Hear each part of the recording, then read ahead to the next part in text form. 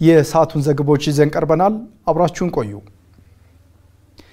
የሀገርን ሕልውና በማስከበር የዜጎችን ደህንነት ለማስጠበቅ ኢትዮጵያን በጋራ ሊቆሙ ይገባል ሲል የኢትዮጵያ ዜጎች ለማህበራዊ ፍትህ ኢዜማ ጥሪ ያቀረበ።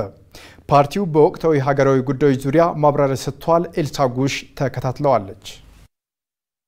አሸባሪው የትህነግ ቡድን በሀገሪቱ ላይ እያደረሰ ያለውን ከፍተኛ ጉዳትና የደቀነውን አደጋ ለመመከት ከህዝብና ከመንግስት ጎን እንደሚቆም የኢትዮጵያ ዜጎች ለማህበራዊ ፍትህ ኢዜማ አስታወቀ።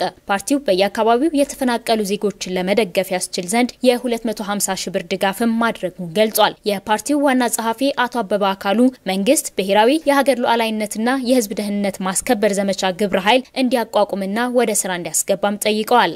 የፌዴራል መንግስት ግዴታውን ከምን ጊዜውም በላይ በከፍተኛ ውጤታማነት መወጣት እንዲችል የወታደራዊ የዓለም አቀፍ ግንኙነት፣ የፕሮፓጋንዳ ከመኖሪያቸው የተፈናቀሉና እርዳታ የሚያስፈልጋቸውን ዜጎች ማገዝ እንዲሁም የሀብት ማሰባሰብና ኢኮኖሚያዊ ጉዳዮች ጋር በተያያዘ መሰራት ያለባቸው ስራዎችን ስትራቴጂ እየነደፈ እንዲፈጸሙ ውሳኔ የሚያስተላልፍ ብሔራዊ የሀገር ሉዓላዊነትና የህዝብ ደህንነት ማስከበሪያ ዘመቻ ግብረ ኃይል ከመንግስት መዋቅር ውጭ ያሉ ኢትዮጵያውያንን ጭምር በማሳተፍ በአስቸኳይ እንዲቋቋምና ወደ ስራ እንዲገባ እንጠይቃለን። መንግስት በአሸባሪው የትህነግ ቡድንና በኦነግ ሸኔ ላይ የማያዳግም እርምጃ መውሰድ አለበት ብሏል። ፓርቲው የሀገር ህልውና ለማስከበርና የዜጎችን ደህንነት እንዲጠበቅ ኢትዮጵያን በጋራ እንዲቆሙ ጥሪ አቅርቧል።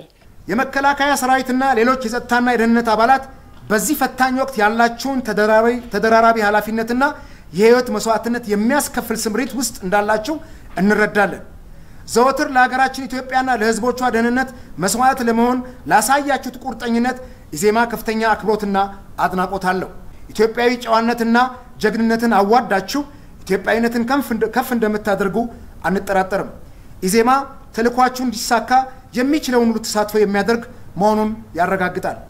የሚዲያ አካላትና ሰራተኞች እንዲሁም የማህበራዊ ሚዲያ አንቂዎች ሀገራችን በምትገኝበት በዚህ የፈተና ወቅት ጥሬ ዜናዎችን ከማቅረብ በዘለለ ዜጎችን ማረጋጋት፣ ዜጎች ለሀገር ሉዓላዊነትና ለህዝብ ደህንነት በንቃት እንዲሳተፉና ተግባራዊ ምላሽ እንዲሰጡ መቀስቀስ ይጠበቅባቸዋል። ወደ ግንባር ያቀኑ አርሶ አደሮችን ማሳ ቅድሚያ በመስጠት የአካባቢው ነዋሪዎች የሚያስፈልገውን ሁሉ ማድረግ እንደሚገባም በመግለጫው አንስቷል። የፓርቲው ስራ አስፈጻሚ አቶ ግርማ ሰይፉ ፓርቲው የውጭ ዲፕሎማሲ ላይ እየሰራ መሆኑንና በሀገር ውስጥም በውጭም የሚኖሩ ኢትዮጵያውያን የዲፕሎማሲ ሂደቱ ላይ ተሳታፊ መሆን እንዳለባቸው ጠቁሟል። አንዱ ትልቁ ነገር በአሁን ባየናቸው እንቅስቃሴዎች ክሽፈት ከሚታይባቸው ነገሮች አንዱ የውጭ ግንኙነታችንና በውጭ ዲፕሎማሲ እያሳየ ነው ያለው ክፍተት ነው። ስለዚህ ይህን ክፍተት ለመድፈን መንግስት በመንግስት መዋቅር ብቻ ያሉትን ሰዎች እየተጠቀመ የሚያደርገው ከሆነ ውጤታማ አይሆንም ማለት ነው።